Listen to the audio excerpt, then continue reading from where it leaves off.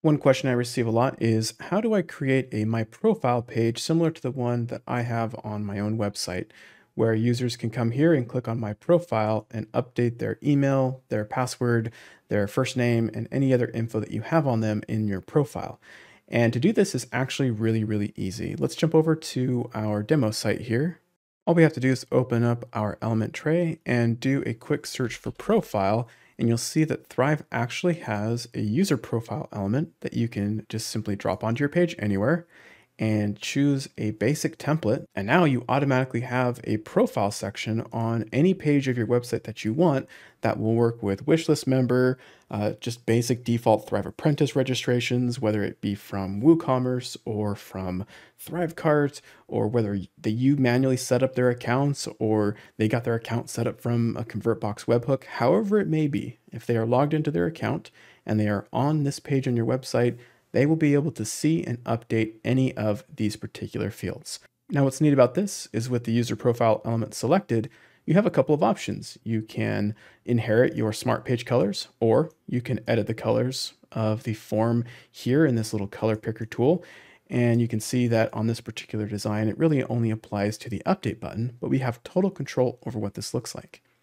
You can choose where the labels are positioned off to the left. And that's actually a neat little layout because if we go like this, that looks pretty good actually with the name or with the label off to the left and the field right here. And then you can edit the fields. Let's say I don't want them to update their nickname. I don't need them to have biographical information. I don't need them to add uh, maybe their website or display name publicly as. Maybe I just want uh, this to be the fields here now, maybe I don't want it to say contact info to the left of the email, and maybe I don't want the background to be this gray color, and I want to change some of those options. All I have to do is click Edit Design here on the left, and now I can come in and I can update any of this. I could highlight contact info and change it to email. I could change the background color section here under background style, and instead of this gray, I could make it completely white. And then I could come into each of these fields, and instead of them having a white background, I could have them be slightly gray so that it's a little easier to see the fields themselves. And then I can edit that until I'm perfectly happy with it, then click done.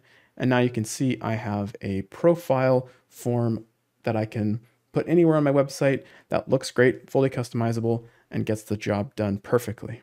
And then when somebody clicks on update, if I come back here to main options, you can choose what message is seen. If I click the little preview eye, it'll come down here. And I think that's just really simple, streamlined, and straightforward, and a great way to help uh, your website users update their own information, particularly their password or their email on file, without having to reach out to you or without having to uh, just dive deep into some clunky system. So hopefully that helps get you on the right path. If you have any questions about using Thrive Architect or Thrive Apprentice or anything related to the Thrive Suite, you can hop over to convology.com for more tutorials just like this, as well as courses and other information.